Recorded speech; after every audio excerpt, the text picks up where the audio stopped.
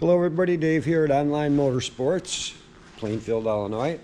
I'm here to give you a little brief video walk around of our 1970 Olds 442 W30 four-speed convertible.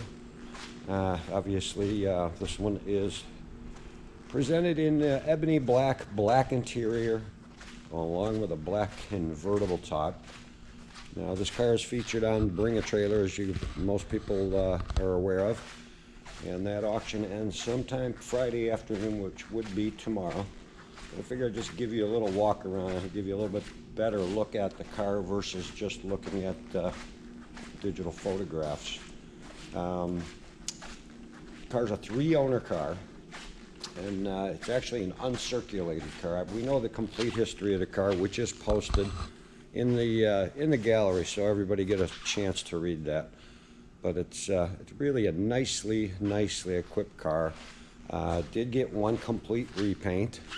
Um, the engine and trans have been both rebuilt. There should be receipts uh, there listed on the uh, on the listing. Um, couple other little changes that were made during restoration was the all aluminum W27 rear end, which there's photos of. Um, other little items that were done during restoration, other than the rebuild of the engine, transmission, obviously the rear end change. Uh, did receive a new convertible top, rams and pump, and all new fluids on there. Now inside the car, we've got their straddle buckets, obviously, center console.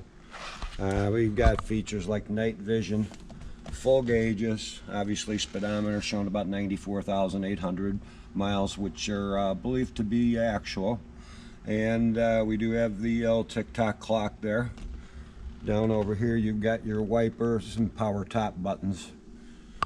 Uh, as far as sound goes, it's got the uh, standard AM radio with the factory 8-track player.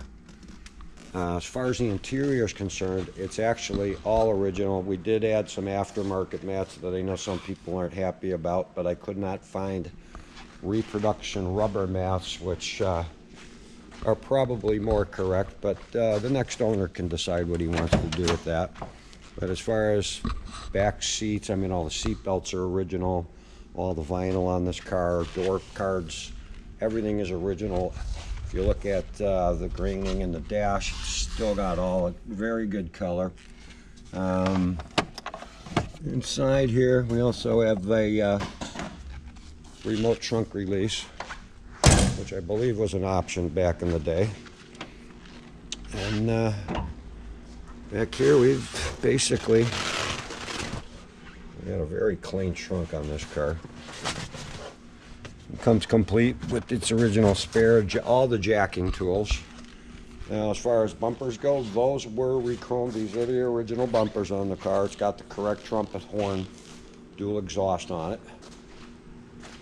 If you look at the body, I'll try to give you, you'll probably see a little reflections here, but I mean, the body is just laser straight on this car.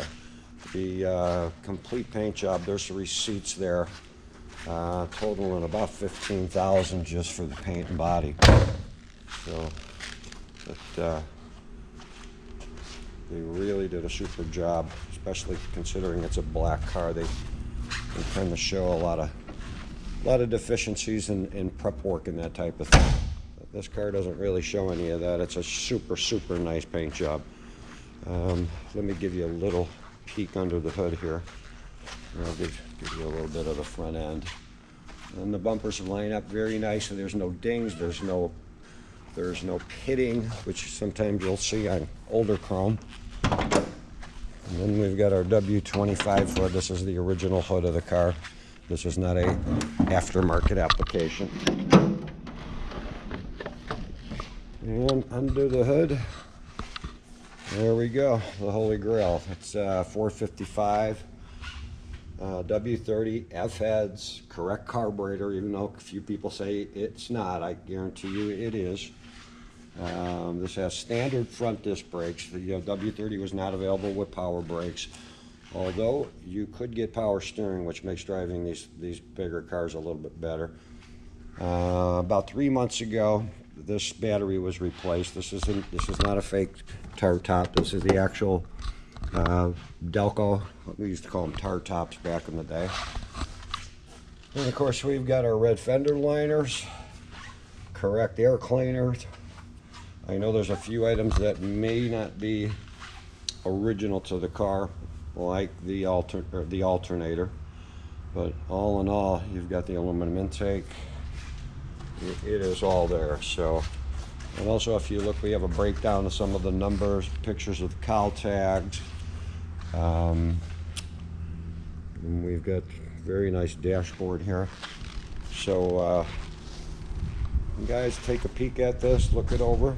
Um, if you got any other questions on the car, you can uh, ask through the gallery, or you can do like a lot of people. I've never had so many uh, people click the contact the seller button, which is sort of, I mean, it's got to be a record number. I usually get one or two uh, uh, private messages, but uh, this thing has drawn quite a bit of attention, and uh, I think your serious bidders are, they're going right through the uh, contact seller, so.